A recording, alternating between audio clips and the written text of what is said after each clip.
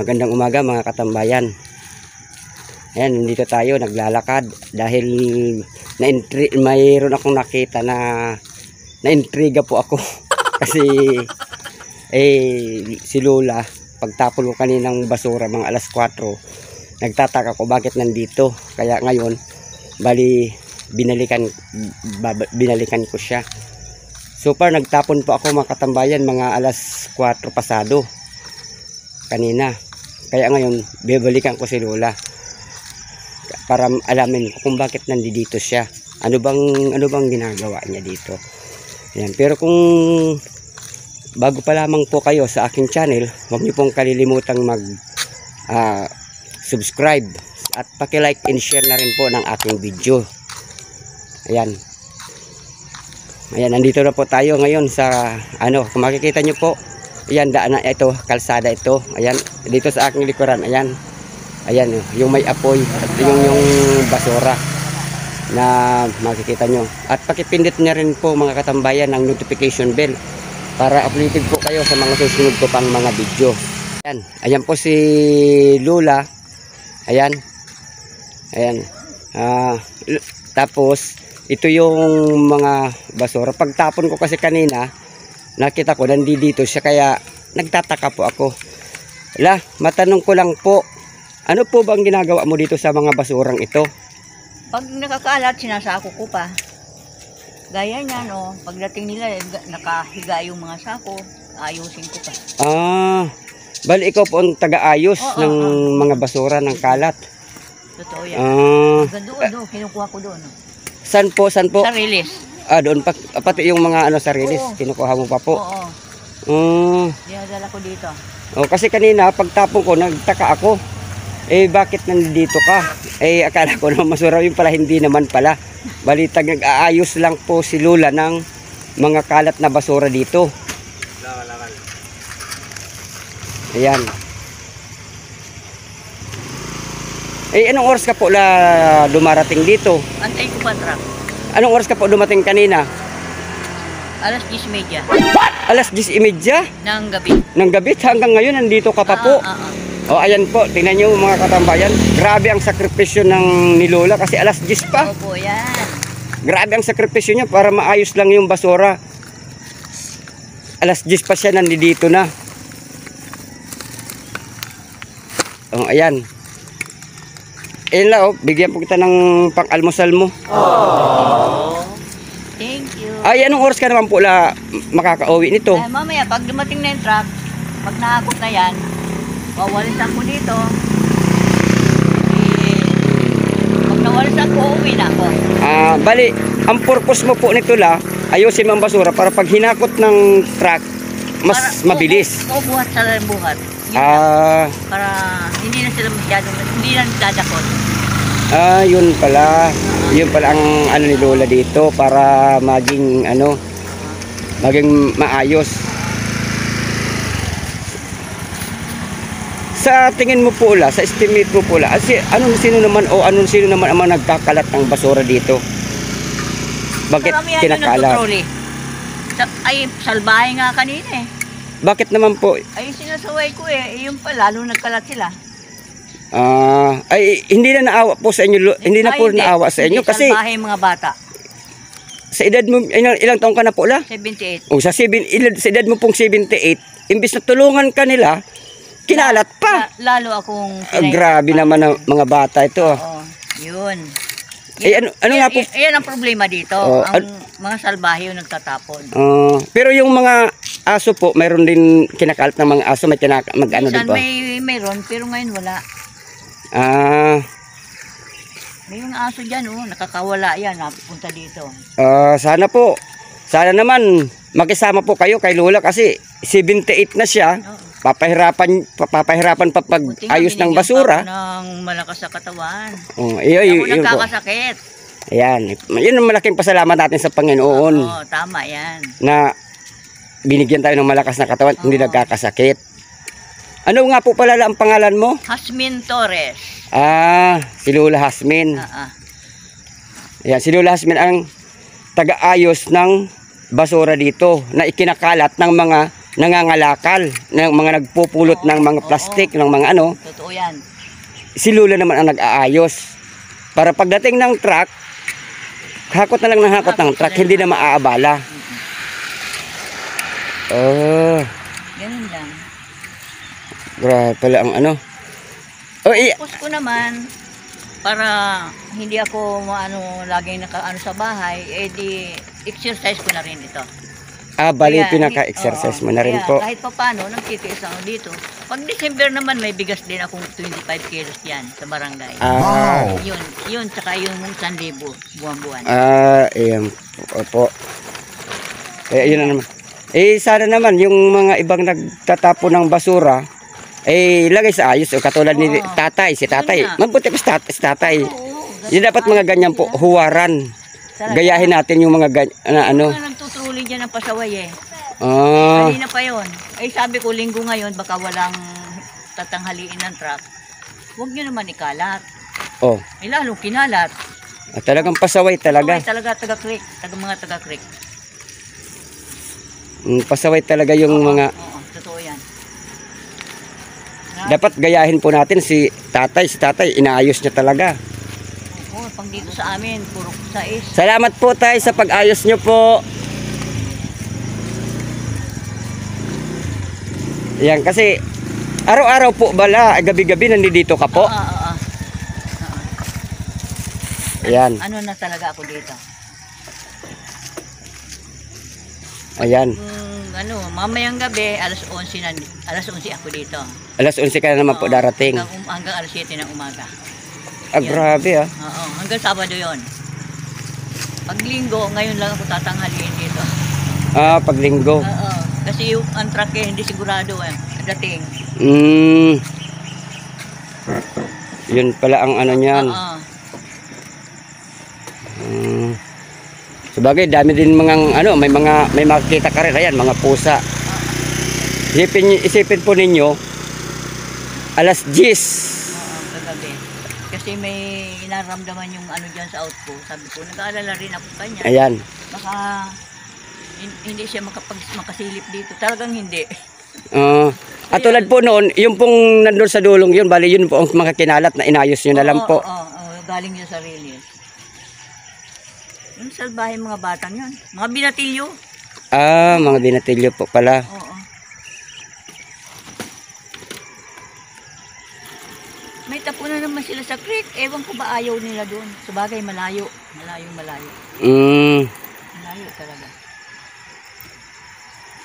Dito ang malapit sa amin. Yung okay lang na magtapon. Basta ayusin lang. ah, yun naman pala. Ayan, nakikiusap po si Lola na okay naman daw po magtapon, pero ayusin naman. Kung mag hahalungkat kayo ng maghahalungkat sila ng kalakal na mga plastic na mga ano, dapat Ibalik nila sa lalagyan. Iyan, yun ang pakiusap ni Lola. Para wala naman, para talaga. Para hindi naman po si Lola mahirapan sa ganitong sitwasyon. Basura na nga, may amoy na, mabaho na. Tapos, ikakalat pa ng Kalat mga pa. pasaway. Oh, ay lalong lalong problema. Ayun. Saka epektado ang subdivision. Eh, yan o, klinika yata yan. Ah, ito po. Oo. Ah, ayan. Oo. Ayan. Ayan, tinuturo ni Lola. Ah, Society yan. klinika daw po itong building na to. Epektado talaga sila. Ayan, kasi damda. Ay, ano naman po yun lang mga ganyan na mga ano, mga nasi- yung pong may apoy na yan. Ay, inano ko lang kasi kinalat nga nila para mawala. Lahat yan, nililinis ko yan. Ang ganun. Ah, Oo. Oo, hindi ko pa naano ngayon kasi nag-uulan. Ah, sa bagay, kung makikita mo nga naman, ayan oh, malinis Pag dito. nalinis ko yan, maganda tingnan. Ayan oh. Lilinisin ko pa yan. Mag- ano lang talaga.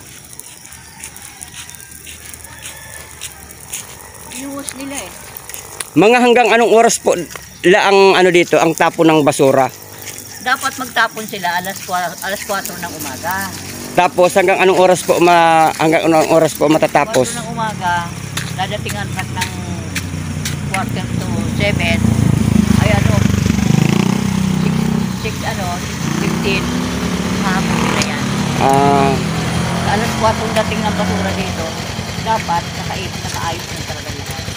Ah, yun pala.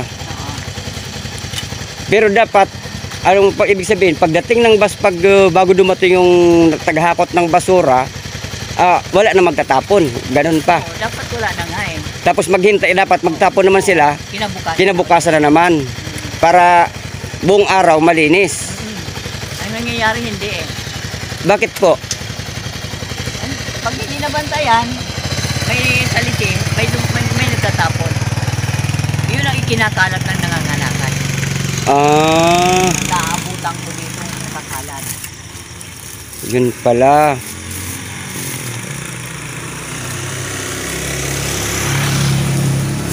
Eh pag ganito pong araw ng linggo, hanggang anong oras po pwede magtapon? Dapat na ta- tapos na eh. O, eh, sige pa rin eh. Pag araw po ng lunes, Lunes. ah, lunes hanggang sabado, bago mag, ano, mag alas 6, wala na magtapon. ah, Nandito na ang truck yan. oo. Nakuha na ng truck yan. Dapat wala na. Gaya, Pero, gaya niya no. Wala na ang truck, dumating pa mga basura. oh, Nasa bubong. ah, ayan oh.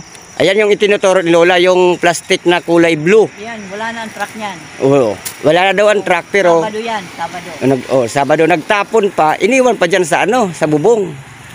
Ganyan sila dito.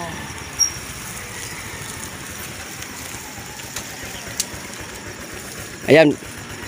Bali tuloy-tuloy pa rin ang ano, ang dating. Anong oras na po la? 10 minutes to 6. Oh, bali mag-alas 6 na. Tapos si Lola kagabi pang alas 10. Ang tibay ko ano. Grabe. Wala po lang tulog-tulog. Natutulog ako maghapon. Ay hindi. Pag uwi ko sa bahay, matutulog na ako niyan. Ah, Matutulog na ako niyan. Walang problema. Dahil natutulog talaga ako maghapon niyan. ito po lang basurang ito, isang hakutan lang ito ng truck. oo, oo. Isang agutan lang. Kaya, kaya naalalayan ko na huwag dumami. Kasi baka may maiwan. Ah, di ibig sabihin maghihintayin mo pa yung Antayin ko truck pa ng basura hanggang sa matapos. Oo. Hanggang sa mahakot ito. Oo. Bago ka po uuwi. Tama-tama lang yan. Ah.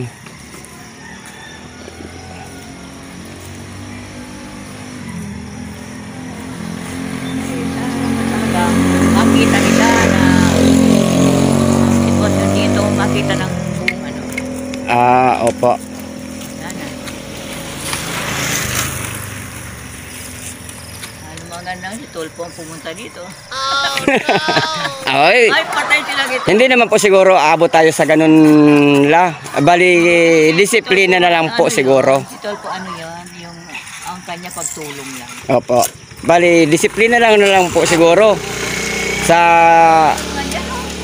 mga tao para naman bali tulungan na lang po. Ganun na lang po siguro ang mangyayari.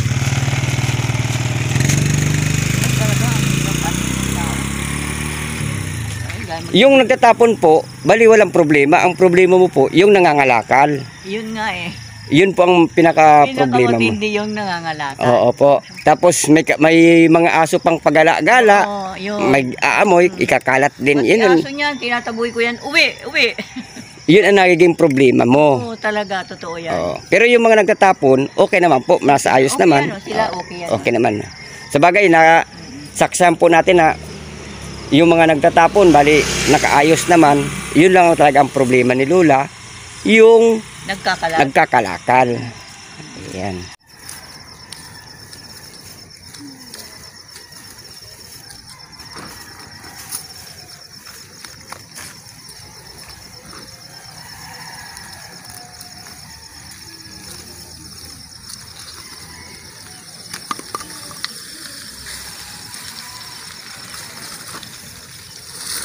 Ayan te oh, maraming kalakal oh. Yung bagong dating.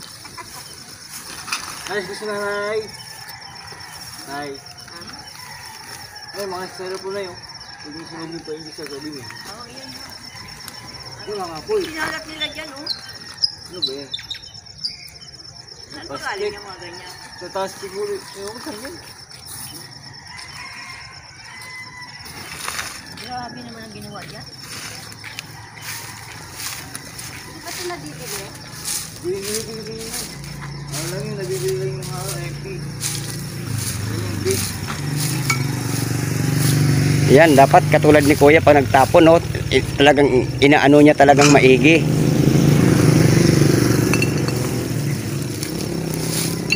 Sana lahat kuya na nagtatapon ng basura katulad mo po na inaayos. Hindi naging na yun hindi naging pasaway kay Lola. Eh,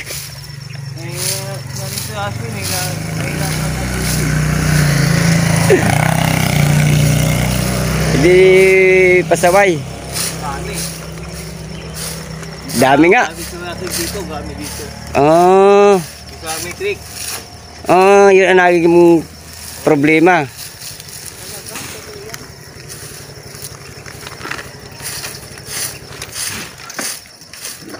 Mga trick. Yan.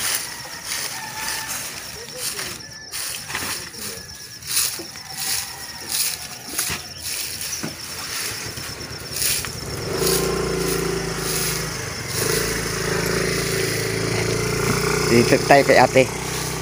Hello, te. Te, ano naman po yung inaano mo, mga kalakal? Hmm, Bakit nag-interview kami? opo. Araw-araw mo po itong ginagawa pagkangalakal dito? Ah, hindi naman. Ganito lang pag napamapadaan ako. Ah, pag napapadaan ka lang po. Hmm, kasi sabi nga nila, ang pera nasa basura. Sura. Oo, di po ba?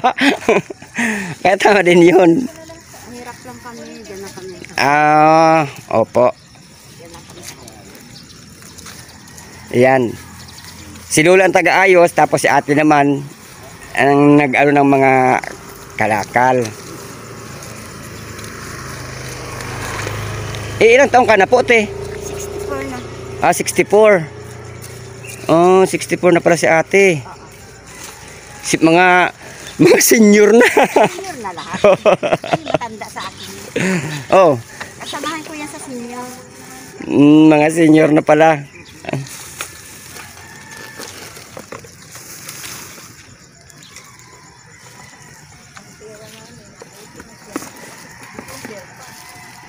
Oh, pera nyo daw, wala pa daw eh. ah, wala pa. Kahit yung ano, kahit yung... Ano ba yun? Yung alida. Saka rin. Mm. Ayan, salamat po kuya sa pag-ayos mo, pagtulong kay ano, kay Lula sa pag-ayos ng basura. Ayan, si ate naman, busy naman dito sa pagkalakal, pero maganda dahil inaayos niya din. Ayos.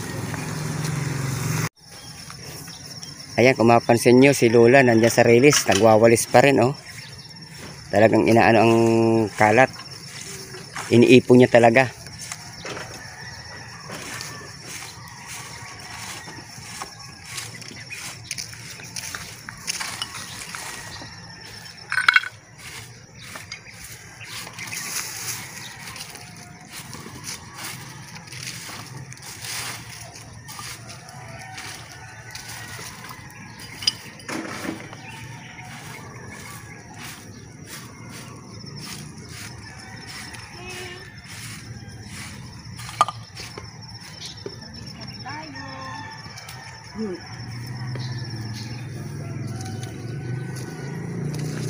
Ayan, tapos si ate, ayan, busy din sa pag ano ng kalakal.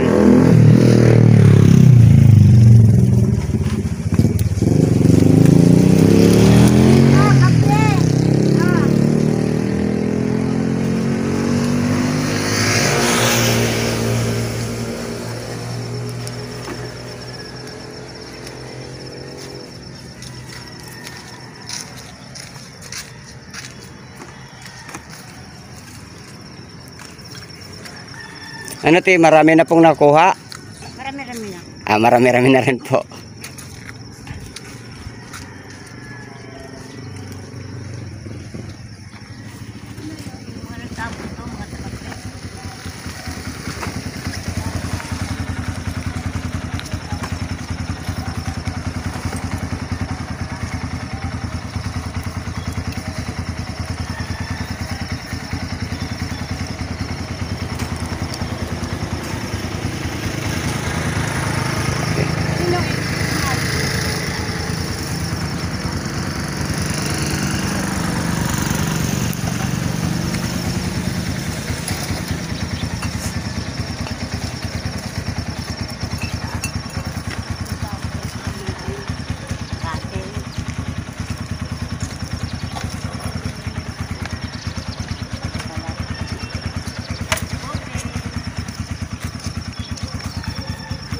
Balik ganyan po lang ang trabaho mo araw-araw.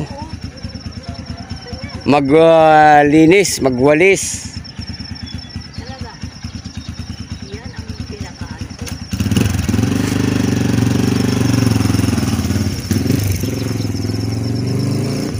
Sige po lang, marami pong salamat sa ano mo po. Thank you.